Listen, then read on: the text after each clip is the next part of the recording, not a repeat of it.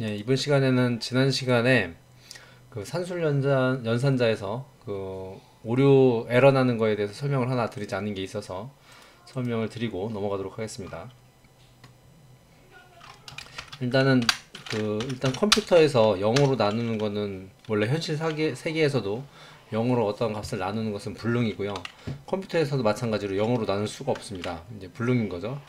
그래서 나누기 연산자로 어, K10을 뭐 0, K0으로 나눠서 D0에 넣겠다 라는 식을 만들어서 어, 시뮬레이션을 돌려보도록 하겠습니다.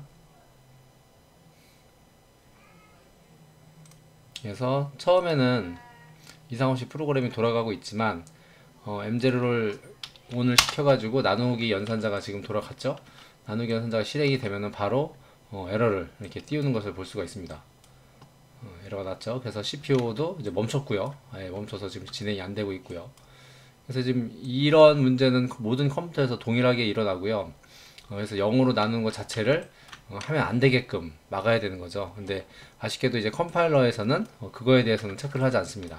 그래서 프로그램 짤 때 0으로 나누지 않도록 잘 해야 되는데 어, 당연히 이사 이 0으로 나누면 안 된다는 사실을 알고 있기 때문에 상수로 이렇게 나누는 경우는 이제 드물죠.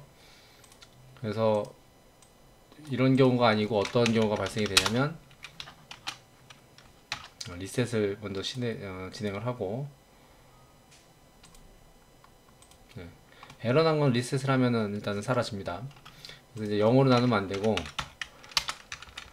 보통 이러한 경우는 문제가 어, K 0으로 나누는 상수로 0을 나누는 경우가 드물기 때문에 보통 에러가 나는 경우에는 뭐 이런 식으로 프로그램을 짜는 거죠. 근데 이때 D1 값이 초기 값이 0이기 때문에 이 마저도 어, 실행을 하면 에러가 나는 거죠.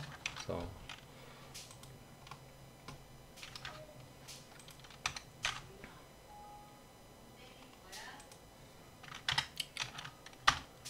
네, 프로그램을 다시 라이팅 하도록 하겠습니다.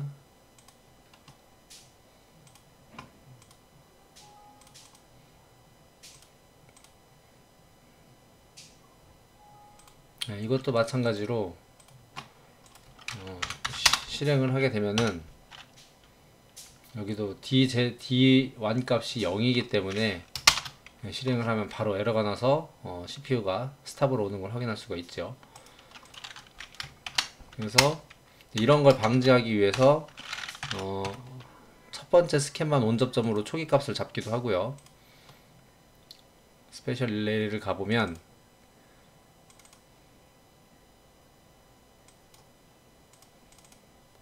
타임 값에 어, 첫 번째 스캔만 on 어, 어, run을 한 이후에 첫 번째 스캔만 on 하는 게 SM402 신호죠. 그래서 어, 이런 거를 방지하기 위해서 SM402 신호로 초기 값을 넣기 위해서요. 어, move K3 값을 D1에 어, 넣고 자, 정상적인 프로그램을 이제 다운로드를 했고요. 일단 에러가 난 거는 아까도 말씀을 말씀드렸다시피 리셋을 한번 갔다 와야 어, 에러가 clear가 됩니다. 그러면은 이때는 시작했을 때 지금 SM402가 벌써 실행이 됐기 때문에 모니터링을 하면은 어, SM 어, D1 값에 3 값이 들어가 있는 게 확인이 되죠. 그래서 이 상태에서는 어, 0 값을 3으로 나누면 어차피 0이기 때문에 에러가 발생하지 않는 것을 볼 수가 있습니다. 이렇게 데이터 메모리를 어, 이런, 이런 식으로 초기화를 시킨다든지 아니면 프로그램을 별도로 만들어 놔서 initial type으로 돈다, 어, 돌린다든지 아니면 device initial value를 넣어서 어, 초기 값을 넣는 방법도 있습니다. 그래서 이러한 방식으로 어, 에러를 막을 수가 있어요. 근데 이, 이 방법 말고도 파라미터에서 또 막을 수 있는 방법도 있긴 합니다. 어, 일단 물론 여기에 0이 안 들어가게끔 하는 게 제일 중요한 거고요. 어, 보조적인 방법으로 어, PLC RAS 여기에 들어오시면 어, computa, computation error라는 부분이 stop되어 있는데 이 부분을 continue로 해놓으면 파라미터를 바꿨기 때문에 다시 다운로드를 하도록 하겠습니다. 음, 예, 이 부분입니다. 그래서 END 처리를 하고요.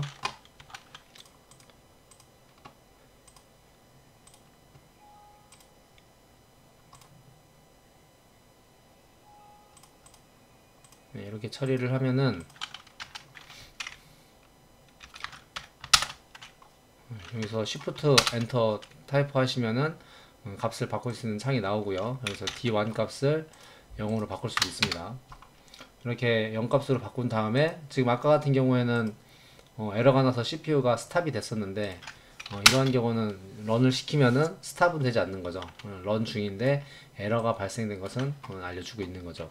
이렇게 에러가 난 것을 어떤 에러인지 확인을 하시려면 여기 위쪽에 diagnostic 진단이 있습니다. 예, 진단 가셔가지고 PLC 진단에 들어오시면 어, 이렇게 operation 에러가 났다는 게 확인이 되죠. 그래서 일반적으로 이렇게 operation 에러는 어, 0으로 나눈 경우에 많이 발생을 하기 때문에 어, 그 부분만 잘 참조하셔서 어, 수정을 하시면 되겠습니다. 이 에러 난 것도 여기 보시면 에러 help에 들어오시면 간단한 설명도 있습니다. 근데 그 0으로 나눠서 된, 된 설명은 없기 때문에 어, 가장 많이 빈번히 일어나는 에러 사항이니까 참고해 두셨다가 어, operation 에러가 나오면 0으로 나눈 곳이 있나 없나 어, 체크를 하시면 될 것 같습니다. 예, 수고하셨습니다.